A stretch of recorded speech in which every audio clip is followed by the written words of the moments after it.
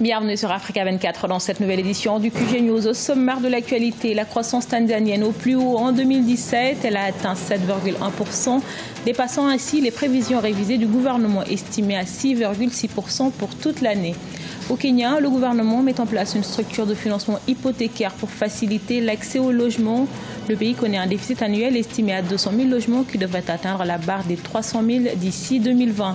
Et puis découverte de l'orchestre Batono Beat Band au Bénin, groupe afropin qui revivifie la culture du griot tout en valorisant les langues locales du nord du pays.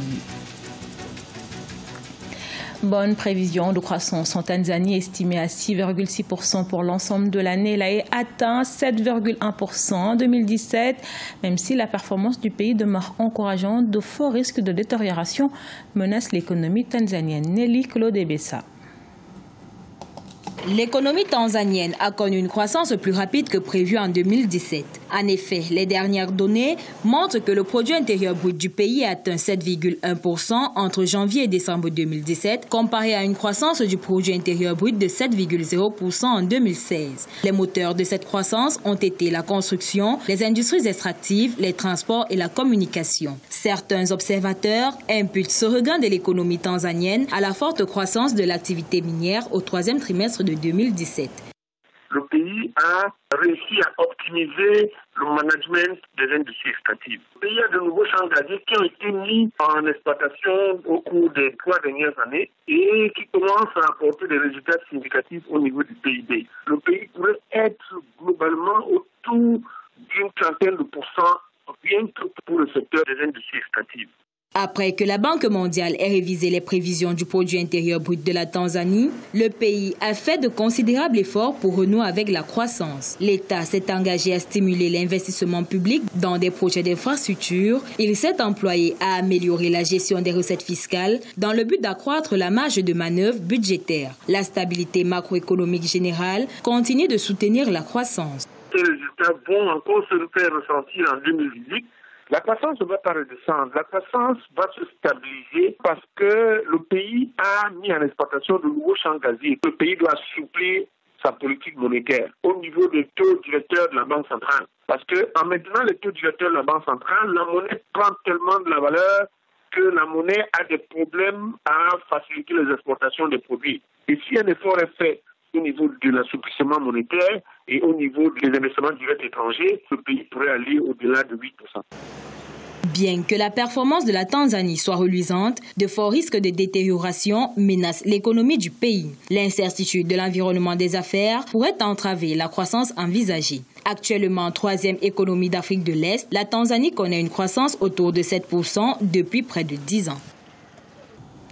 Avec un déficit annuel de 200 000 habitations, l'accès au logement fait partie des priorités du gouvernement kenyan. Afin de combler ce déficit, les autorités mettent en place une structure de financement hypothécaire avec à la clé fournir 500 000 logements en 5 ans. Corinne Kamsefem.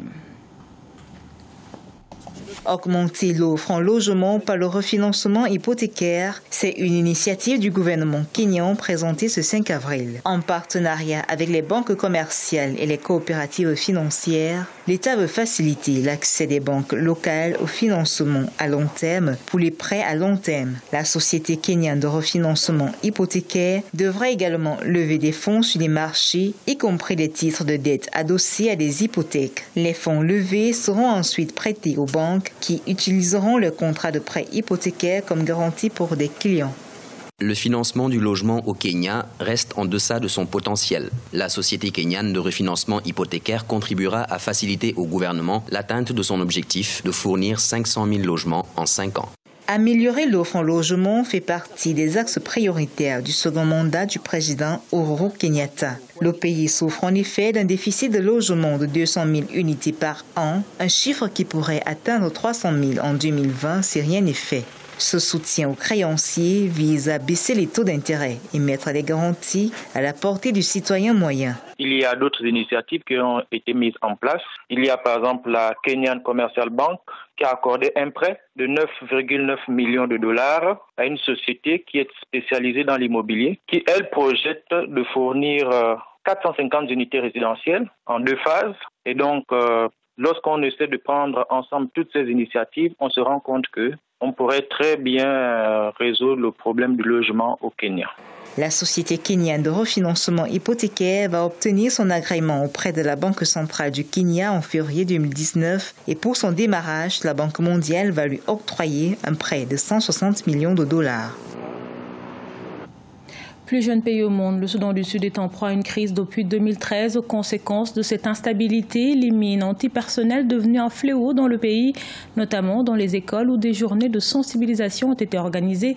C'était à l'occasion de la Journée internationale pour la sensibilisation aux mines et l'assistance à l'action anti-mine le 4 avril. Corinne Kemsefem. À l'école primaire et secondaire de Saint-Mathieu de Lobonok, une localité située au sud de Juba, la capitale sud-soudanaise, élèves et enseignants ont souvent côtoyé la mort. L'école avait dû être évacuée et fermée pendant six mois après la découverte d'une dizaine de mines antipersonnelles non explosées. Les démineurs sont venus ici dans notre école, puis ils ont découvert quelque part devant qu'il y avait une bombe. Alors, ils sont venus et ils l'ont déminé. Et maintenant, nos vies sont sauves. Nous pouvons maintenant aller n'importe où.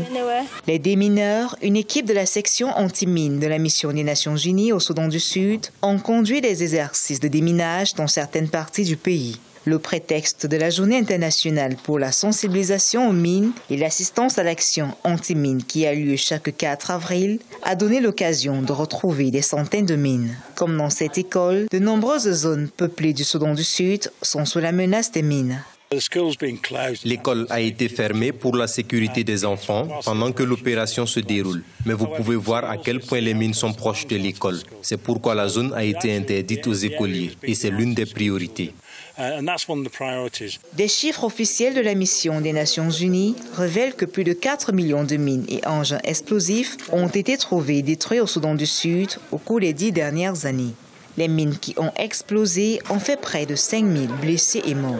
Le plus jeune État du monde tarde à renouer avec la paix depuis la reprise des hostilités en 2013. En 2011, le Soudan du Sud a signé le traité d'Ottawa qui interdit l'acquisition, la production, le stockage et l'utilisation des mines antipersonnelles.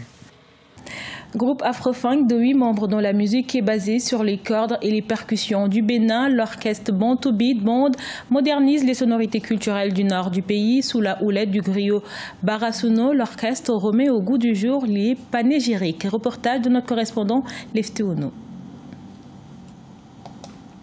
Au Bénin, l'orchestre Bantounou Beat Band valorise et exporte les richesses culturelles du septentrion. Seydou Barazuno, l'artiste chanteur principal du groupe, est griot et agronome de formation. Barazuno a été bercé dès son enfance par une éducation traditionnelle orale assurée par son grand-père. Il a ensuite appris le langage du tambour parlant, les panégyriques des maîtres et des rois de l'ère culturelle bantonou auprès de son père, griot attitré du roi de Ndali. La particularité du groupe, c'est dit groupe musique Batono Beat Band. Barasono et Batono Beat Band.